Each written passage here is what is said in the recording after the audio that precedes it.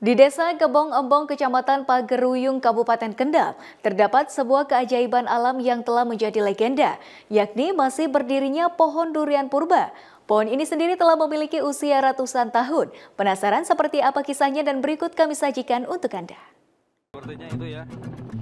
Desa Kebon Gembong di Kecamatan Pageruyung, Kabupaten Kendal sejauh ini memang dikenal sebagai desa durian karena buah durian lokalnya sangat dicari warga meskipun memiliki harga yang tinggi. Pohon durian purba yang ada di daerah tersebut sudah ada dan berukuran raksasa sejak masa penjajahan. Pohon ini menjadi pusat perhatian tidak hanya karena ukurannya yang mengagumkan, tetapi juga karena umurnya yang luar biasa tua. Desa Kebon Gembong memiliki reputasi sebagai penghasil durian terbaik di Kabupaten Kendal. Kualitas dan kelezatan buah durian lokalnya menciptakan daya tarik unik bagi pecinta durian dari berbagai tempat. Ini teman saya mencoba berdiri di sebelah akarnya. Itu hampir sepinggang ya untuk akarnya saja. Yang yang ini horizontal ya, yang datar. Akar horizontalnya. Pohon durian purba telah menjadi saksi bisu perjalanan waktu di desa ini. Berdiri dengan gagah perkasa, pohon ini telah tumbuh sejak zaman penjajahan, sehingga menciptakan sejarah panjang yang mengiringi perkembangan desa itu sendiri.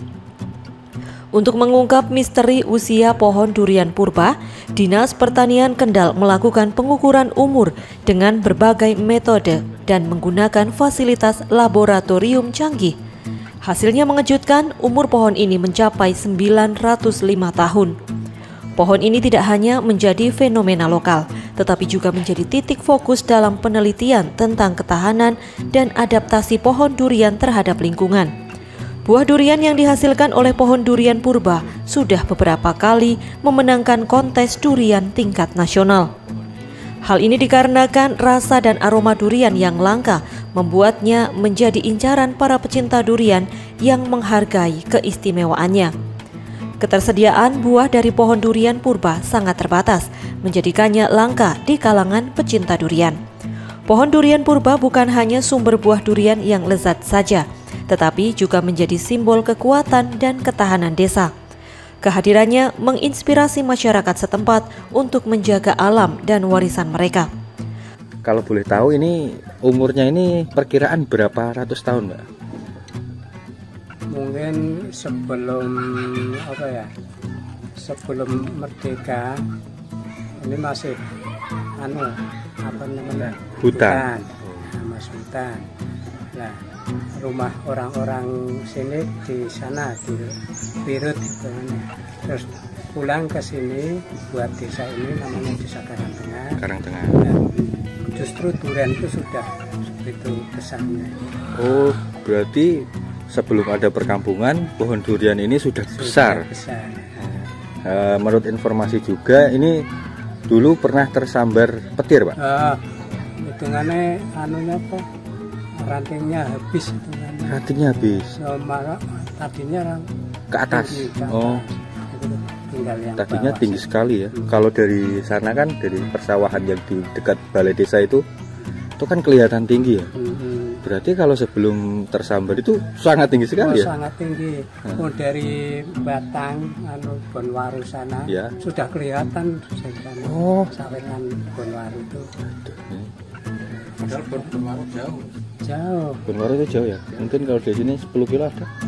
Lebih. Lebih? Lebih. Uh, dari jarak 10 km itu kelihatan. kelihatan. Ah. Oh, tersono. 15 kiloan ya? Iya. Setahu saya dari bapak saya karena bapak saya kan uh, anak tertua dari Mbah. Ya. Mulane durian itu dikasih nama durian wayat karena nama ayah saya, anak bapak. Oh. Berarti asal usul durian wayat. Nah, itu memang nama-nama ayah saya itu Muhayyat ya panggilannya Wayat ini durian Wayat untuk anak bareng